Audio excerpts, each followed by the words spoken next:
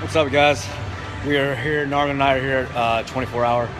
We are uh, getting some shoulders in. We are doing a little bit of rear delts right now, and I just came across an awesome machine. It is a uh, just a regular machine fly for rear delt or chest fly, but it's a little longer. I'm a little too short to use this one, so we're modifying it the single arm.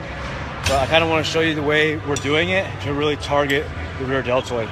So it's awesome for a great stretch and a good contraction. So I'm gonna do my first set. Norman's gonna film me, and then I'm gonna have her jump on, and I'm gonna kind of break it down, perform technique to you guys. So this is a uh, set two for me.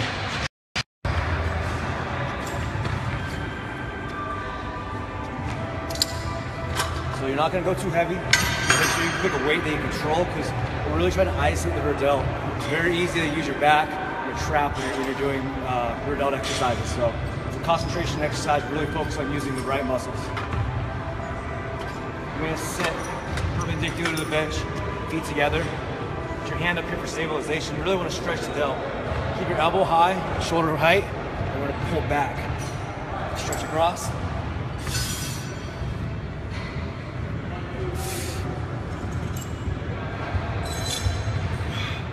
We focus on stretching the muscle here and squeeze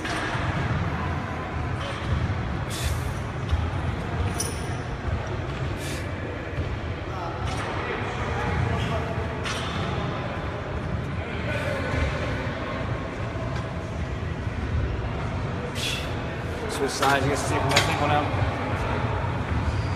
One other side bit. See, let me see, go from behind. So you can see it now.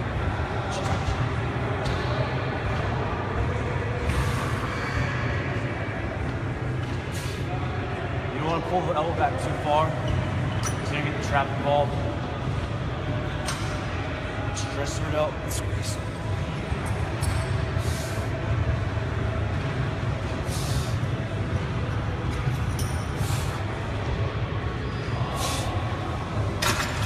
Superset this with a face pull.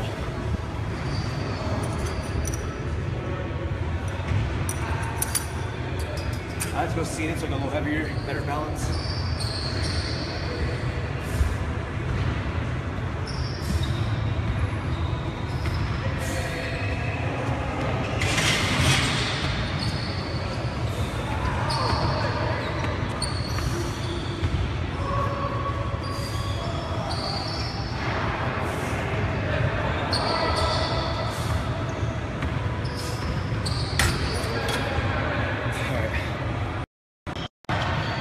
So you guys, rear delt is one of those muscles that's very hard to, to concentrate on. A lot of people use, like I said, their traps, their back when they're pulling. So don't go too heavy on these exercises.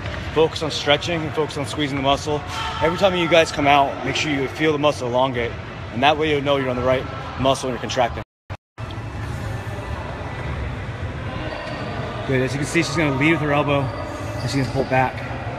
We wanna eliminate any trap activation. So right to there. The moment you see her trap start to rise, it's taking over. So she needs to bend the elbow a little more. She comes back, go across your face, and leave the elbow. Pull the elbow. Good. Drop the trap. Pull. Elbow high. There you go, right there. This is muscle training. Good. Stretch it and squeeze right there. Good.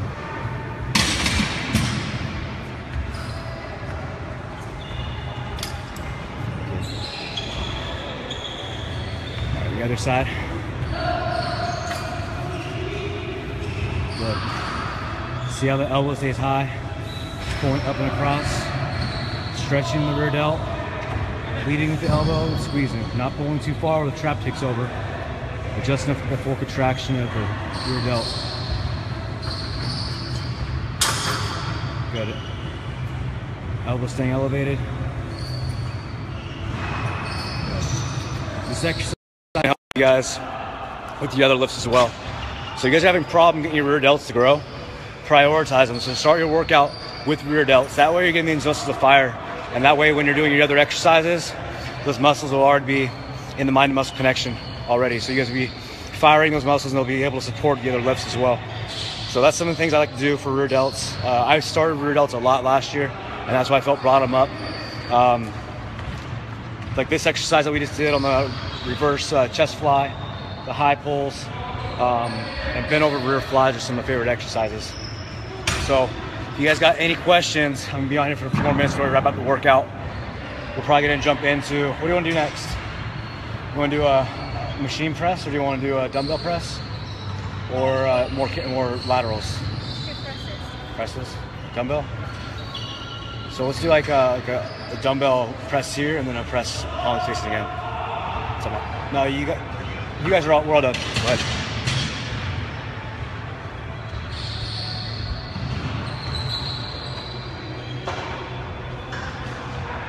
Awesome, guys. Well, we appreciate your support.